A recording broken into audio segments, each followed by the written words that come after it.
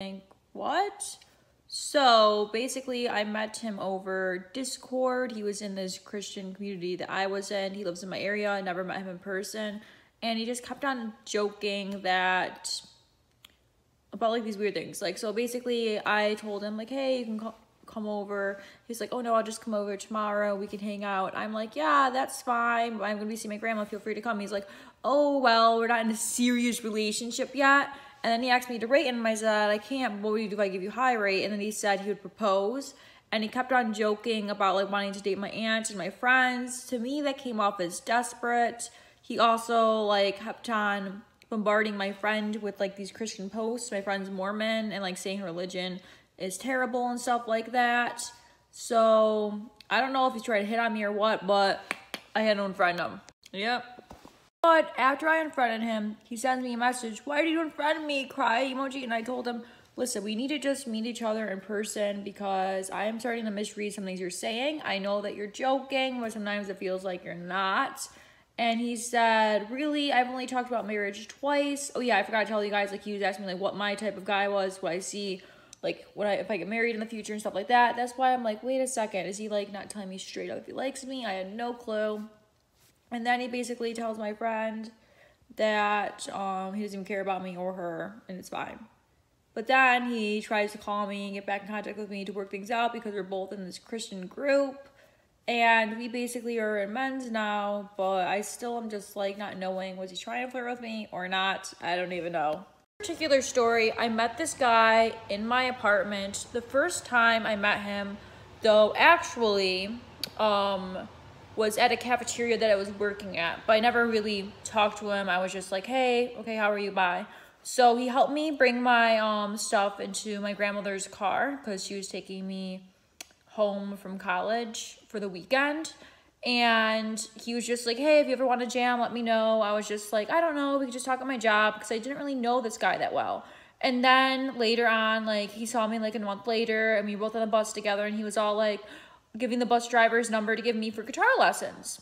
And this is where the online part starts. We start texting each other. He seems really nice. He says he wants to take me to a beautiful waterfall and texts me every day. But then the texting starts to slow down a few things happened on my end that kind of made it seem a little odd, but I'll get to that one in the next video. Yeah, some of the things that kind of were a little odd was what happened was I was texting my other friend. I can't wait until we move in together and do the hard eyes. She's a girl and I was just excited about it.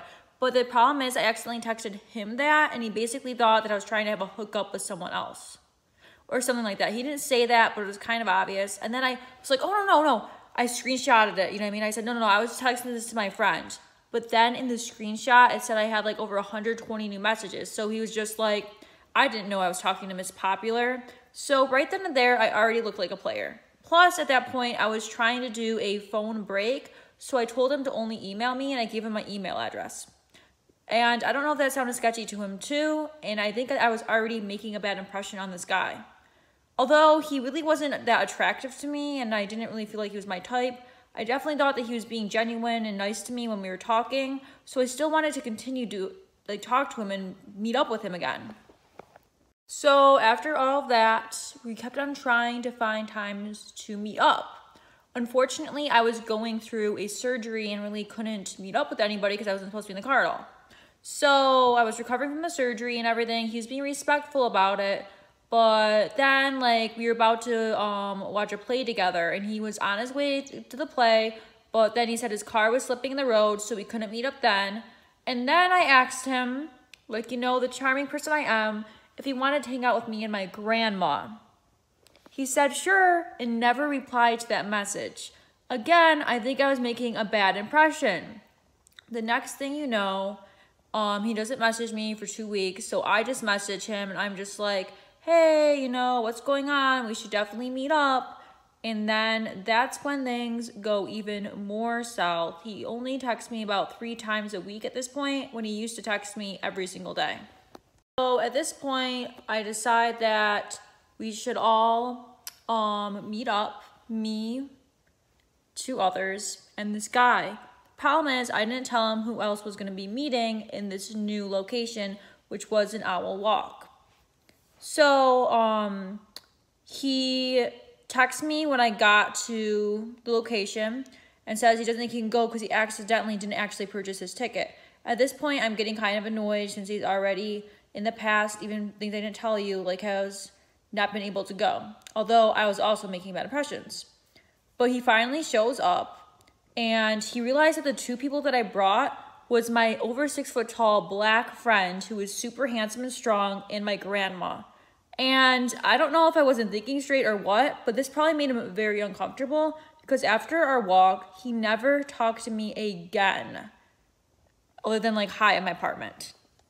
Hey, so just so you guys know, I forgot to add an important detail with that online stalker session or online stalker dude that I was talking about before. If you haven't watched that video, go ahead and watch it. If you haven't, eh, just watch this one instead.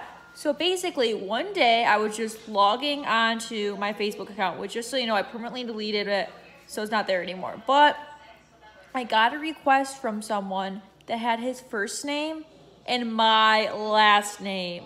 And I literally was just like, wait a second. I think like his bio was saying that he loves me or something. So that's when I knew that this stalker thing was getting into a bit more extreme level. Not like extreme where he's like looking at me like through a camera or hacking my phone or anything, but just a little bit creepy. So I definitely just, you mean like reported it? I'm pretty sure that Facebook deleted it.